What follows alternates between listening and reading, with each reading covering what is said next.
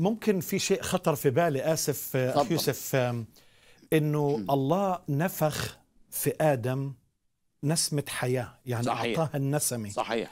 المسيح هو معطي الحياة. صحيح. يعني هو اللي بيعطي الحياة. صحيح. ده فرق كبير طبعا.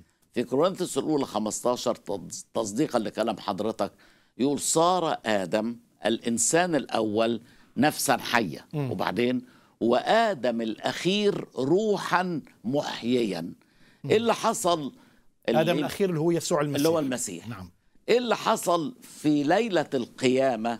الأمر اللي بعض الناس مش فاهماه. لما المسيح في يوحنا 20 نفخ للتلاميذ في التلاميذ وقال لهم اقبلوا روحا قدسا.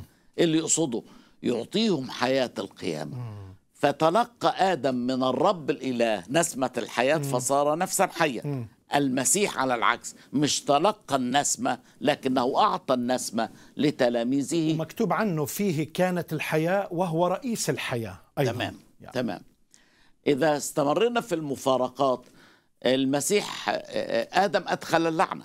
يعني أصح 3 17 من سفر التكوين ملعونة الأرض بسببك. المسيح رفع اللعنة.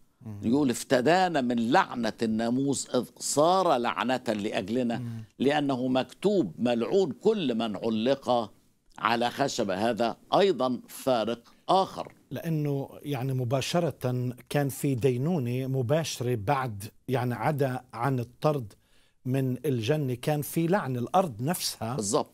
يعني راح تنتج شوكاً شوكا وحسكاً. وحسكا. صحيح. وكمان يعني بتشوف الرب كيف تكلم مع آدم كيف تكلم مع حواء كيف تكلم مع الحية إلى آخره. يعني كان في لعنة. مظبوط. يعني اللعنة دي أدخلها آدم زي ما إحنا شفنا. لكن لما تيجي تتكلم تقرأ في النبوات في العهد القديم وتلاقي أزمنة رد كل شيء. أيام أوقات الفرج. العالم العتيد الذي هتلاقي إن العكس. ال ال ال الأرض هتطلع قاس وهتطلع أشياء جميلة. الله، راحت فين؟ الشوك والحسك. في آدم دخل اللعنة.